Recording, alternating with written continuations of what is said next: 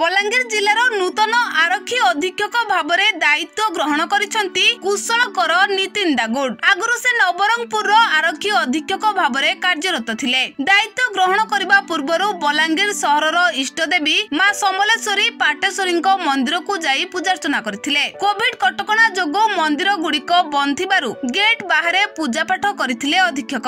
ବଲାଙ୍ଗୀର ଭଳି ଓଡିଶାର ଏକ ପ୍ରମୁଖ ଜିଲ୍ଲାର ଆରକ୍ଷୀ ଅଧୀକ୍ଷକ ଭାବରେ ସୁରୁଖୁରୁରେ କାର୍ଯ୍ୟ ସମ୍ପାଦନ କରିବା ପାଇଁ ଇଷ୍ଟଦେବୀ ମା ସମଲେଶ୍ୱରୀ ଓ ପାଟେଶ୍ୱରୀଙ୍କୁ ଗୁହାରି କରିଥିଲେ। ଏହା ସହିତ ନିଜ କାର୍ଯ୍ୟାଳୟରେ ଜିଲ୍ଲାର ବରିଷ୍ଠ ପୋଲିସ ଅଧିକାରୀଙ୍କ ସହିତ ଆଲୋଚନା କରି ଜିଲ୍ଲାର ସ୍ଥିତି ପରିସ୍ଥିତି ଉପରେ ସମୀକ୍ଷା କରିଛନ୍ତି। ବଲାଙ୍ଗୀର ଜିଲ୍ଲାର ଜନସାଧାରଣଙ୍କ ସୁରକ୍ଷା କରିବା ଏବଂ ସେମାନଙ୍କୁ ନିରାପଦ ରଖିବା ମୋର ପ୍ରଥମ କର୍ତ୍ତବ୍ୟ ହେବ ବୋଲି କହିଛନ୍ତି ନୂତନ ଆରକ୍ଷୀ ଅଧୀକ୍ଷକ।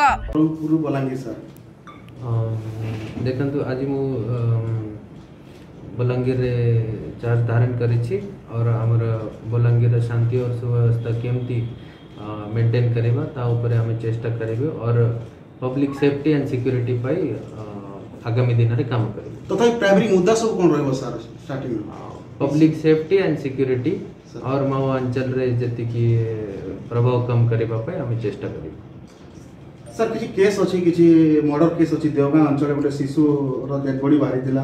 ଡକାୟତି ତାପରେ ଡକାୟତି କେସ୍ ରହିଛି ସାର୍ ପାଟନାଗଡ଼ ଅ, ଗଣହତ୍ୟା କେସ୍ ରହିଛି ତାର ମାଷ୍ଟର ମାଇଣ୍ଡ ବି ବର୍ତ୍ତମାନ ଧରା ପଡ଼ିନାହିଁ।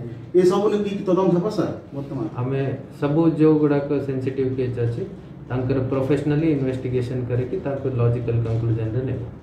ସାର୍ ବଲାଙ୍ଗୀର କେମିତି ଲାଗୁଛି ସାର୍? ବଲାଙ୍ଗୀର ବହୁତ ବଢ଼ିଆ ଲାଗୁଛି। ବଲାଙ୍ଗୀରରୁ ଗୁପ୍ତେଶ୍ୱର ପୃଷ୍ଟିଙ୍କ ରିପୋର୍ଟ ବିଶ୍ୱ ବିଜୟୀ ନ୍ୟୁଜ୍ ଓଡ଼ିଶା।